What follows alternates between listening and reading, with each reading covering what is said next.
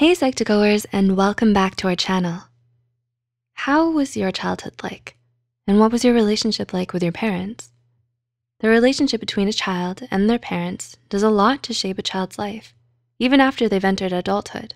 So here are six signs that you might have a toxic childhood. One, you live in fear. Oftentimes, toxic families display authority through fear. Do your parents yell excessively, threaten, or even use violence to get their point across? Too much of this removes the security blanket around you and causes fear to take over your mind. Whether it's a fear of messing up, saying the wrong thing, being ridiculed, or anything else, letting fear guide your life is not a healthy way to live. According to Smruti Garg from Pinwheel Place, excessive childhood fear has a range of effects on the brain, such as added stress, a higher chance of depression, and even the potential development of a learning disability in some cases. Two, you've lost your sense of self. Do you feel a sense of belonging when you're together with your family? Or do you feel emotionally disconnected with them? Belonging is so important because humans are social by nature. When people feel they belong, they may be more likely to take healthy risks, grow, and figure out who they are with a strong support system. However, Without a feeling of belonging, people may lose their sense of self and have a hard time finding their place in the world. Without a sense of self, it's hard to develop confidence and security within yourself.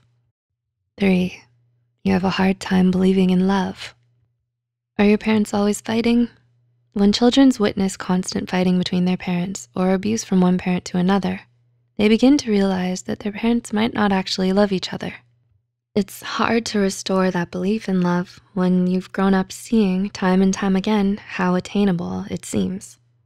This can also result in trust issues in relationships and friendships.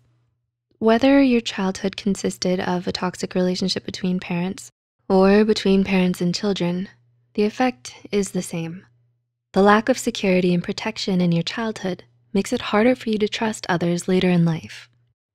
Four, you're quick to blame yourself when things go wrong.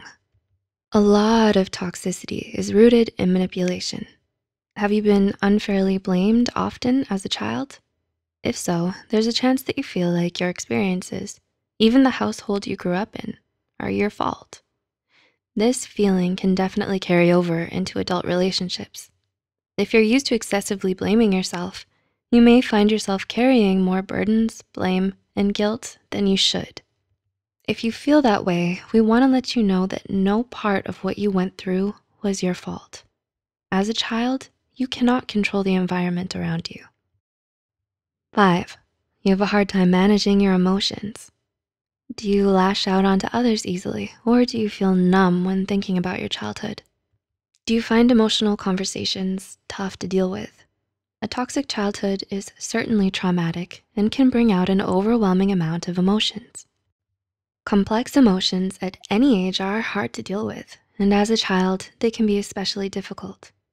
According to Peg Streep from Psychology Today, a common coping mechanism for all of these emotions is to push them aside. You might find it hard to connect with all of the emotions that were thrown at you at such a young age. And number six, you're very self-critical. How do you talk to yourself? Are you kind and understanding? Or are you critical and unforgiving? One of the biggest signs of childhood toxicity is negative self-talk.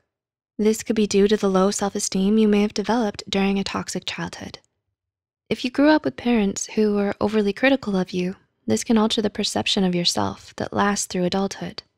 If you find yourself in this situation, remember that these thoughts are just distortions.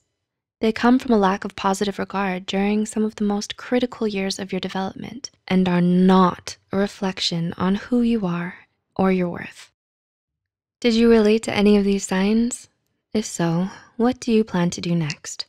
Let us know in the comments below. If you relate to this video, please know that what has happened to you in your childhood is not your fault, and you deserve to be loved, happy, and cared for. If you found this video helpful, don't forget to like and share this video with someone who might benefit from it. Also, remember to hit the subscribe button for more Psych2Go videos. And as always, thanks for watching. We'll see you soon.